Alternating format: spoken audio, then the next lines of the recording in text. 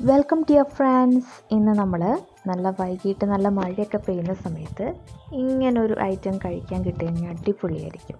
ഇതെന്താണെന്നറിയോ പച്ചക്കായ ചേമ്പ് ഉരുളക്കിഴങ്ങ്. ഇതെല്ലാം ചെറിയ കഷ്ണങ്ങളാക്കി ഇതുപോലെ നുറുക്കിയെടുക്കുക. എന്നിട്ട് മൺകലത്തിൽ നമുക്ക് വേവിക്കണം. അതിന് മുമ്പ് നല്ലപോലെ മഞ്ഞൾപ്പൊടി മുളക് പൊടി അതുപോലെ ഉപ്പ്. ഇതെല്ലാം ആവശ്യത്തിന് നിങ്ങളുടെ ഒരു ടേസ്റ്റിന് ആവശ്യത്തിന് ഇതിന്റെ അകത്തേക്ക് ആഡ് ചെയ്യുക. എന്നിട്ട് നമുക്ക് വെള്ളം ചേർത്ത് കൊടുക്കുക. ആവശ്യത്തിനുള്ള വെള്ളം വേവിക്കാൻ ആവശ്യമായിട്ടുള്ള വെള്ളം ചേർത്ത് നമുക്ക് സ്റ്റൗവിൽ വെച്ചിട്ട് അല്ലെങ്കിൽ അടുപ്പിൽ വെച്ചിട്ട് നല്ലപോലെ വേവിച്ചെടുക്കാം. കേട്ടോ അടച്ച് വെച്ച് നല്ലപോലെ വേവിച്ചെടുക്കാം.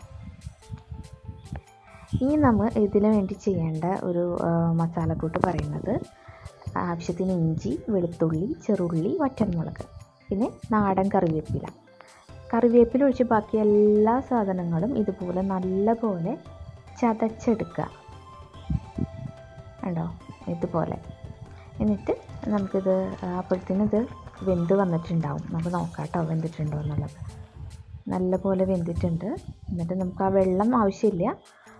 ഇത് ഊറ്റിയെടുക്കാം. ഇനി കുറച്ച് വെള്ളം വേണമെന്നുള്ളവർക്ക് അത് ചേർത്ത് കൊടുക്കാം.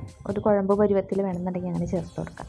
വേവിച്ച് കഴിഞ്ഞു. ഇനി നമുക്ക് മൺചട്ടിയിൽ നല്ല നാടൻ വെളിച്ചെണ്ണ ചേർത്ത് കൊടുക്കാം വെളിച്ചെണ്ണ ചൂടായി വരുമ്പോൾ കുറച്ച് നമ്മുടെ ഉലുവ അതുപോലെ കടുക്ക് ഇത് ആവശ്യത്തിന് ചേർത്ത് കൊടുക്കുക. കടുകൊക്കെ നല്ലപോലെ പൊട്ടണം കേട്ടോ. പൊട്ടിക്കഴിഞ്ഞതിന് ശേഷം ചൂട് വെളിച്ചെണ്ണയിൽ കറിവേപ്പിലി പിന്നെ നമ്മൾ ചതച്ച് വെച്ചിരിക്കുന്ന ആ ഒരു മസാലക്കൂട്ട് ഇഞ്ചി വെളുത്തുള്ളി ചെറുള്ളി വറ്റൽമുളക്.